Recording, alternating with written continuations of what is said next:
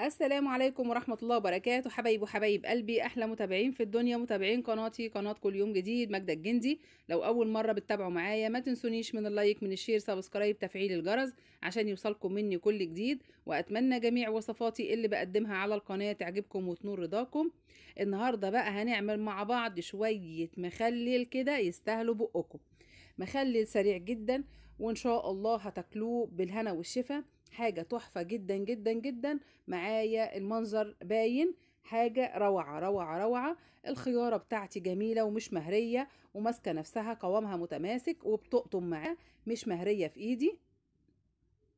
شايفين المنظر؟ وكمان الفلفل بتاعي مستوي حلو جدا.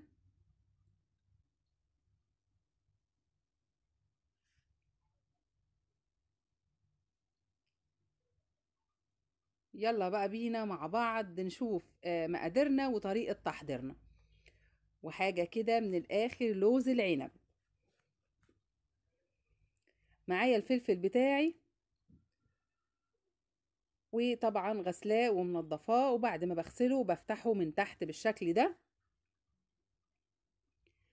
لأن لما بنفتحه من تحت لما بنطلعه من البطرمان ما بيبقاش حامل مية كتير لكن لما بنعمل له فتحة في النص بيبقى مليان مية آه كتير معبي مية كتير من البطرمان وطبعا أنا قسمت الفلفل بتاعي على مرحلتين. حبة غلت لهم مية عشان دول هيتاكلوا بسرعة تاني يوم على طول هطلع منهم من البطرمان وهناكل منهم بالهنا والشفا كده.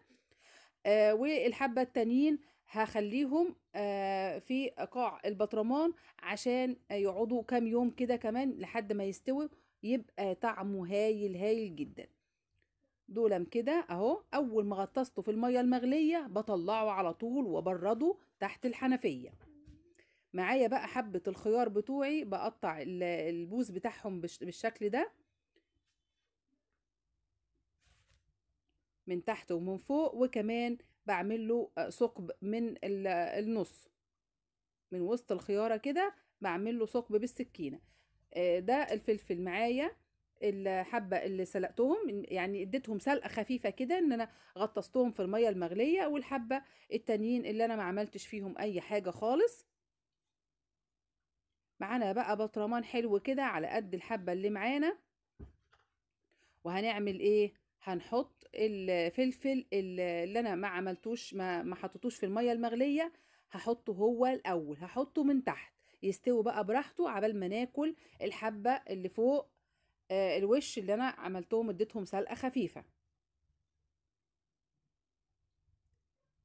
دول بقى 3 أيام 4 أيام هيبقى بقى شارب من المية جميل جدا جدا وحبة الخيار دول هيطلعوا كده حاجة لوز.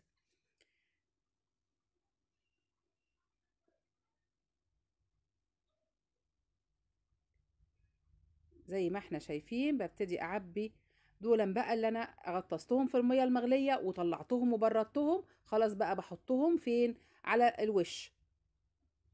بحط معاهم طبعا بحط الخيار بتاعي كله وهحط حبة الفلفل دول على الوش كده.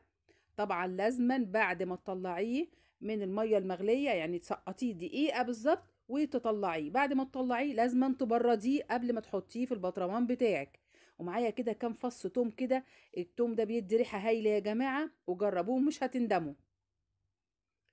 متقطعين شرايح كده بحطهم برشرشهم كده في البطرمان بتاعي.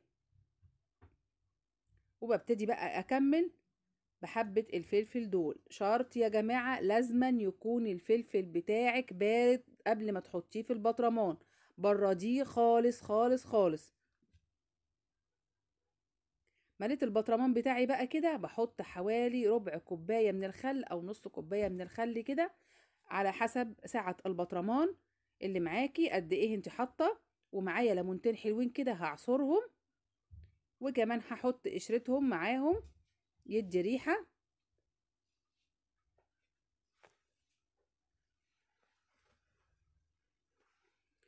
حاجة كده سهلة جدا جدا وفي نفس الوقت هتبقى بقى إيه مدية حاجة كده خير في البيت كده حاجة جميلة بعبايل ايديكي طبعا أنا عارفة الكمية بتاعتي وعارفة الملح اللي هحطه قد إيه.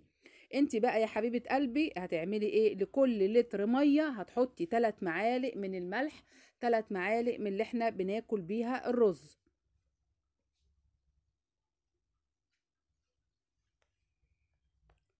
معلقة الرز كده المعلقة اللي إحنا بناكل بيها معلقة الأكل هتحطي 3 معالق ملح على كل لتر مية. كل لتر مية هتحطي 3 معالق ملح وتقلبيهم كويس وتحطيهم في البطرمان بتاعك. وتفضلي كل مرة 3 معالق ملح ولتر مية لحد ما تملي البطرمان بتاعك. أنا بوريكم أهو المية اللي أنا حطيتها جت لحد المنسوب ده. طبعا هكمل البطرمان بتاعي كله بالمية بتاعتي. لكل لتر آه مية بحط 3 معالق ملح وبأكد لأن هو ده الحدق المظبوط جدا لكل أنواع المخللات. هتاخدي حدق مظبوط جدا لا حادق قوي ولا عادم قوي. المية دي أنا غلياها وركنتها على جنب بردت. المية اللي أنا بستعملها غلياها وركنتها على جنب تبرد. عشان إحنا في الصيف عشان المخلل بتاعي ما يطلعش ريم. لكن في الشتاء بستعمل مية عادية من الحنفية وبرضو المخلل بتاعي بيطلع زي الفل وما بيطلعش ريم.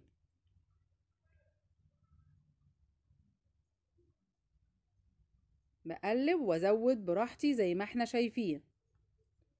لحد ما أخلي كل آه المخلل بتاعي يتغطس بالمية. ومعايا بقى كده كيس بلاستيك. أنا استعملت كيس الملح اللي كان معايا قلبته. وببتدي أحطه دلوقتي أهو بغطسه كده عشان خاطر إيه أحافظ على الوش. زي ما إحنا شايفين كيس بلاستيك بتاع الأولاد سندوتشات الأولاد كده وتحطيه أو أكياس التلاجة تحطيه فوق الوش وتقفلي البطرمان بتاعك. قفل جيد بقى يكون البطرمان بتاعك كده محكم الغلق. وتبتدي بقى تديله تقليبة كده عشان كله آه الملح والليمون وكمان الخل كله يندمج في بعضه ويبقى من أول البطرمان لحد آخره. تاني يوم بالظبط هتفتحي عليه هتاكلي من المخلل الجميل ده قدام عينيكي هيبقى الحبة الفلفل اللي فوق الوش هما اللي مستويين والتانيين حوالي يومين بالظبط كمان بعديها يعني 3 أيام بالظبط وهتاكلي من الخيار الجميل ده. وده كمان الفلفل اللي استوى اللي هو كان في قاع البطرمان تمام؟ حاجة كده لوز العنب لوز العنب يا جماعة. المخلل بتاعي الخيار بتاعي حاجة تفتح النفس كده وبيقطم معايا مش مهري. وكمان الفلفل بتاعي مستوي شكله كده يجيب النفس.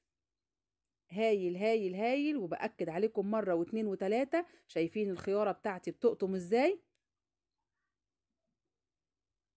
تحفة جدا. وإذا عجبكم المخلل بتاعي النهاردة ما تنسوش تشيروه مع أصحابكم. وما تنسوش يا جماعة لو جيتوا لحد الدرجة دي معايا ما تنسوش اللايك اللي بيرفع معانا الفيديو. وأتمنى جميع وصفاتي تعجبكم وتنور رضاكم. وكل سنة وإنتم طيبين.